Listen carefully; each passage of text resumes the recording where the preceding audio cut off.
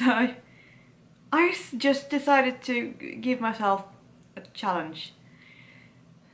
Good day ladies and gentlemen, I'm Toadally the Toad and I'm back with another video and today I'm gonna find out if you can sew a pair of drawers in one day. This is a very arbitrary time limit because I don't really have anything I need to wear them to, but I don't know, I just kind of felt like doing it, I suppose.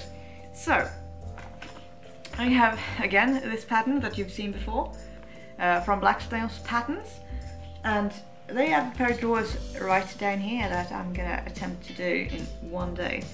So, I'm gonna give myself a few rules for this. The first one being that I'm not gonna do it in one day, like straight, because I have a job to go to. So I can't really sew for like 24 hours no one can, but that will just not work.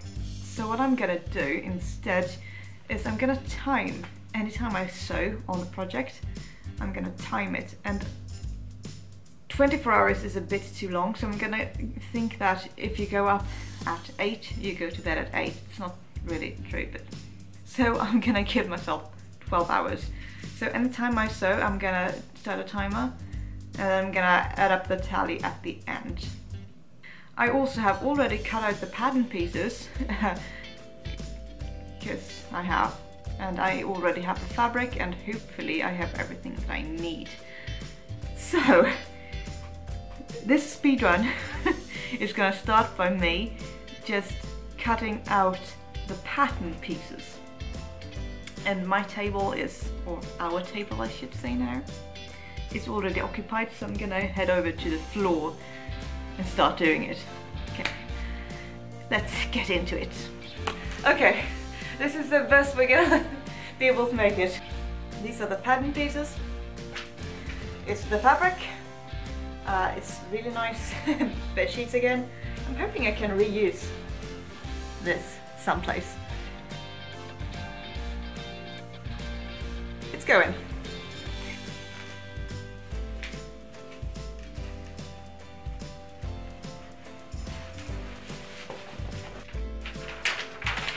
Jeez. I this is so much bigger than I thought. Yeah, we're fine. It'll, it'll fit just some weights. Fingers crossed I won't get colour all over my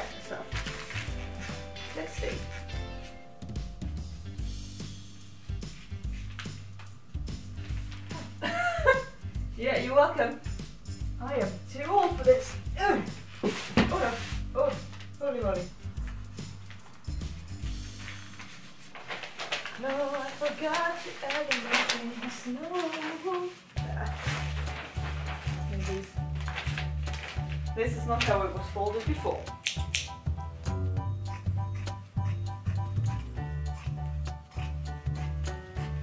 I just realized, I just realized I forgot to check that you actually need two of these and that they're not supposed to be on a fold. the problem with doing stuff on a time crunch that you arbitrarily set for yourself is that you're doing it in a time crunch that you arbitrarily oh. that you arbitrarily set for yourself. Let's have a look at that first, because I got a bit worried here. Cut two, legs. Good.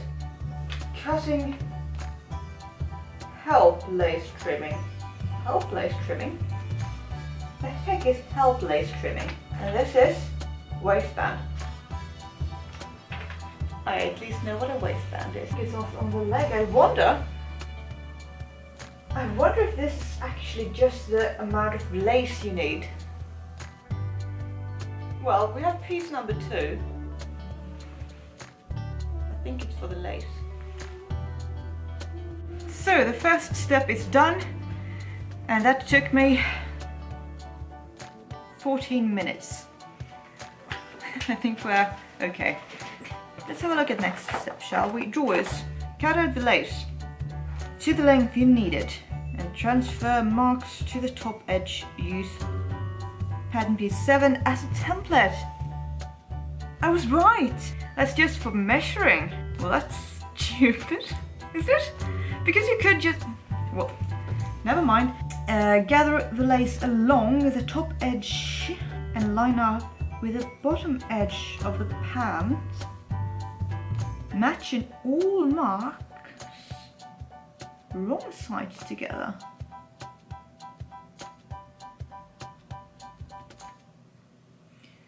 Okay, so you can actually use the thing. But you need two of them.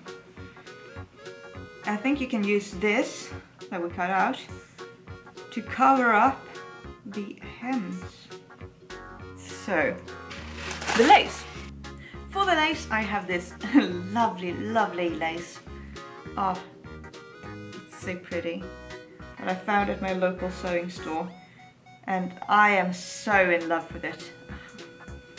It's so pretty. So I bought a lot so I can use it for another project as well later.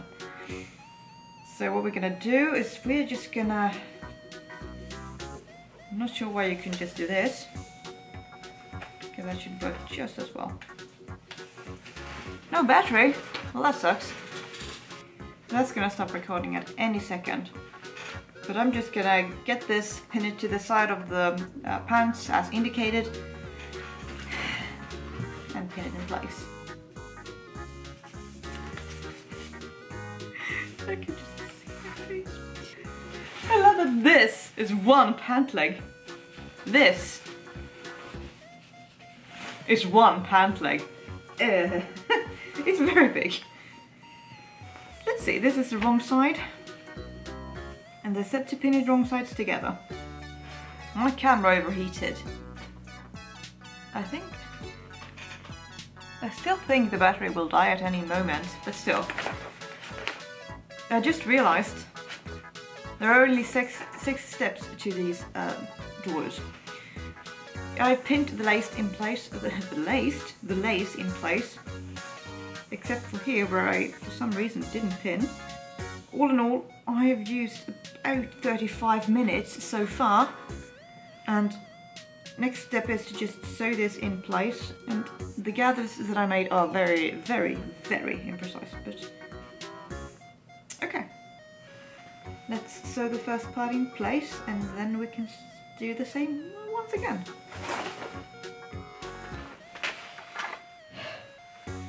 Hey! This is very low. Let me see if I can heighten you. Well, the light here is awful. However, I'm gonna keep going with the drawers and to do that we're gonna start the timer again. Let's see. As you can see, it is still going. Since I'm not cheating with my own arbitrary rules, I haven't pre done the machine. I need to change the press as well. Happy days, happy days. So we're gonna attach the the, the, the, the thingy to the thingy. It's not gonna be particularly even, but uh, I don't tell you that it must be, so I guess it's fine.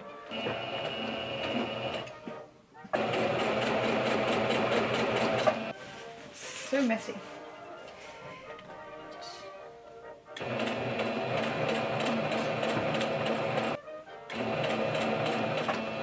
How do I know when I'm at the pivot? Is that right? Yeah. Uh, not really. Uh, it's close enough, I suppose. This is bad. Now what you do is you take the facing strip and you, you take some sort of insertion lace or a strip of fabric or something like that, and you add, you put it. Have you ever had a dream that that you um you had you you you could you do? and you put it on top of this edge here, stitch it in place. they actually specify how big the angles are at these little pivot thingies that I talked about before. However, doesn't really say that much to me. So I'm just gonna wing it and hope for the best. And uh, also, I'm sorry, I, I feel like I'm looking everywhere but the camera. It's because I'm trying to find, at the same time, I'm trying to read and I'm trying to find uh, the piece of um, fabric or strip of fabric or whatever you call it that I was intending to use. Let's see.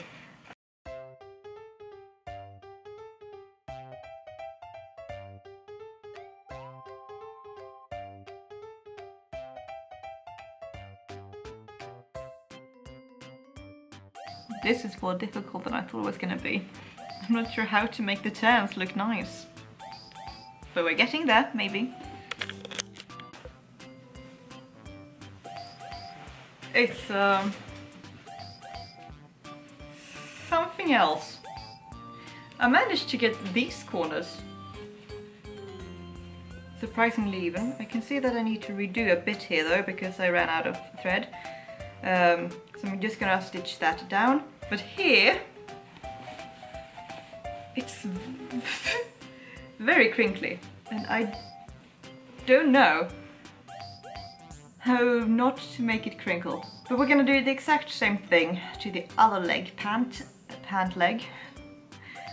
And it's been one hour and 17 minutes, so we're still pretty good here. Uh, after that, we're gonna close the pant legs. That to get the crotch to remain open, you're only gonna stitch here. You could also just make it with a closed crotch, but that seems like cheating somehow. Okay, we'll keep going and we'll see. So, first off, I'm 100% getting a cold as we speak. I felt it like I woke up with a sore throat and I felt it sort of creeping on this entire day. So I'm just hoping that I have some sort of energy left to potentially finish off my project. Um, so if I look a bit uh, dead, it's because I'm just... I'm feeling a little bit under the weather, uh, so to speak. Anyway, I, I, don't remember what the last thing I said to you guys was, but we have made some progress uh, with the drawers. Namely, I actually ripped apart this seam um, that connects uh, the pant leg um, because I realized that this here is really thick. So doing um, a normal felled seam would be way too bulky. Especially if you want to do just one not two. So I redid this entire seam, I ripped it apart and I did it again as a French seam. Uh, as you can see maybe if I do this. So it's now a French seam. Uh, what I did next, and where we're at now, is I've just, to the right side of the uh, pant uh, crotch area, I've pinned this twill tape. So we're gonna stitch this down, then flip it to the inside and fell into place. And that's how you do if you want to make an open crotch, which I decided to do because why not. Uh, if you want to do a not open crotch, you just sew the pants together instead. Uh, I also want to say, when I did the restitching of the pant leg, I forgot to press the timer on my phone. We are currently, we're currently at 2.15 I would say it probably took me about 20 minutes uh, to rip apart and re-sew. So I'm gonna, but if I'm gonna be mean to myself because I forgot to record, so at the final tally I will add 30 minutes. However, since I gave myself 12 hours, and I'm not even at 3, and what's left is just stitch this, flip, fell down, and then attach the um, waistband and just sew like this much together at the front and back of the pants. I don't think that half hour is going to make that much difference unless I fork up a lot on the next step. And given the fact that I'm so tired and just feeling, uh, you know, I think you can even see it in my face. I'm also very shiny. So this is going very well and it's going very fast, which is nice because underwear and the underpinnings and stuff like that, it's not the most interesting things to sew because it won't be visible so no one will see it. I just read the instructions. I'm sorry if it's wobbling a little bit, I'm trying to hold you guys with one hand, so it's not going terribly well. But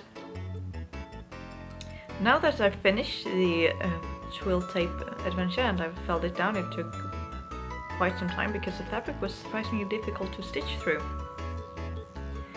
Now you're supposed to overlap the center front with about a centimeter and then stitch together for 10 centimeters. Which makes sense, that means the uh, legs won't slide apart. But you're only supposed to do this at the front, not at the back, so it will be open all the way up the butt. I didn't expect that. I am not sure how I feel about that. Hello! first things first, I have a cold. I've had a cold for like a week and this is the first day that I've sort of been able to speak, although my voice is not good and I'm gonna keep this short to stay silent as much as possible. However, as you can see here, my drawers are actually done. and I did film this very beautiful reveal. So now my voice is back and you're gonna get a voiceover. So as you can see, I'm trying it on with the chemise. And just to show you, I am wearing shorts. I don't want to flash anyone. Great, let's put the drawers on. First off, let me tell you, it was kind of weird feeling, as you can see on my face.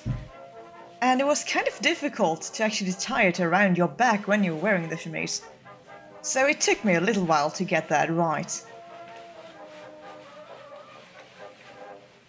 First thought, I really like them. They're comfortable, just checking how they fit, and yep, I really enjoy them. A lot Then I turned around and my brain just went.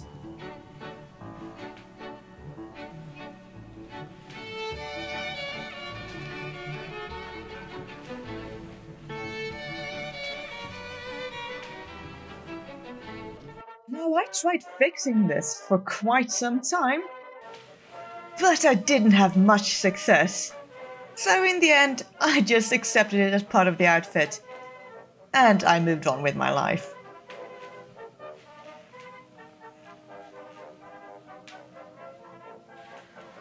With the chemise down as it's supposed to be, you hardly see them anyway. You can move them, they're comfortable. Great.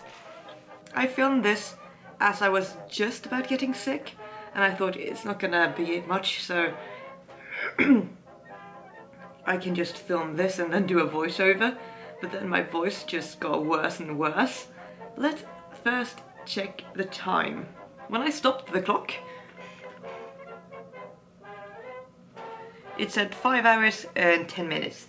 I would say that it's probably closer to 5 hours 30 minutes because I missed pressing the button a few times. So to be fair, I think it's a little bit longer.